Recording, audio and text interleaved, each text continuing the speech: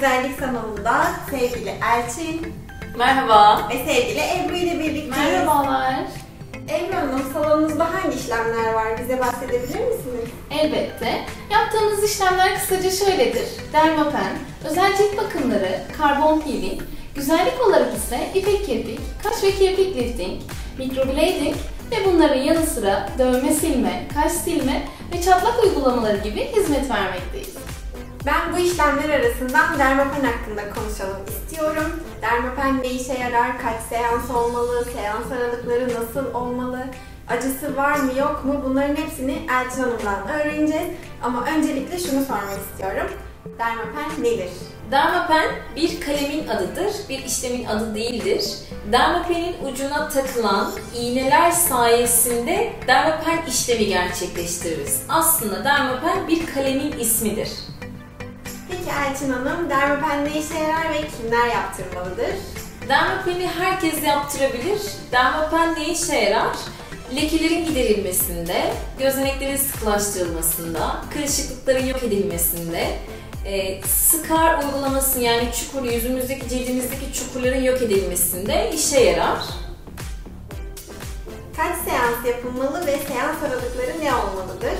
Dermapen seans sayıları 4-6 öngördüğümüz ama bazı kişilerde 3 seansta yetebiliyor, bazı kişilerde 8 seansta yetebiliyor. O yüzden biz cilde göre seans verebiliyoruz ama ortalama 4-6 seanstır ve seans aralıkları yine cilde göre 2 hafta maksimum 3 hafta olmalı. Bence herkesin de en çok merak ettiği sorulardan biri işlem sırasında canımız acıyor mu? Şöyle ki işlem sırasında canımız çok acımıyor fakat bu hangi işlem olursa olsun alın ve burun yani kemikli bölgelerde minimal acılarımızı hissediyoruz.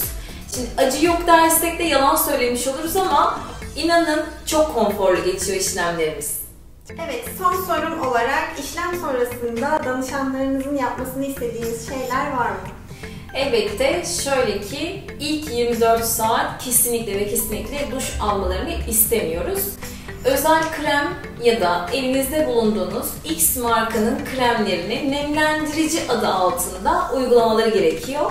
Çünkü eğer uygulamazlarsa cilt kurursa e, deri dökülmesi gibi şeyler yaşanıyor. Onu istemiyoruz biz. Ama onun dışında özellikle şu olmazsa olmaz dediğimiz bir şey yok. Evet, şimdi sevgili Elçin Hanım benim cildime dermapen uygulaması yapacak. Hadi başlayalım.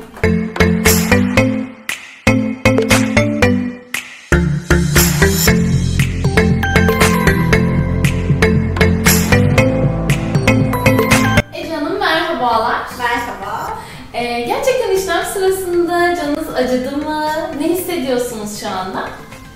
İşlem sırasında herkesin de çok e, aslında çok acımadı. Azıcık acıdı. Yani çok mu az yani? Yani küçük bir acı mı az mı? Ee, öncelikle e, çok acımadığını söylemek istiyorum. Yani tabii ufak karıncalanma şeklinde bir e, acı da denmeyebilir buna.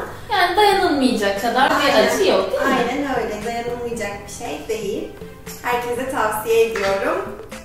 Bizi de bilgilendirdiğiniz için sizlere çok teşekkür ediyorum kızlar. Size başka soru sormak isterlerse ne yapsınlar? Buradan ulaşabilirsiniz. Takip etmeyi unutmayın. Çok çok teşekkür ediyoruz. Bizi izlediğiniz için de teşekkürler. Kanalıma abone olmayı unutmayın. Görüşürüz. Hoşçakalın.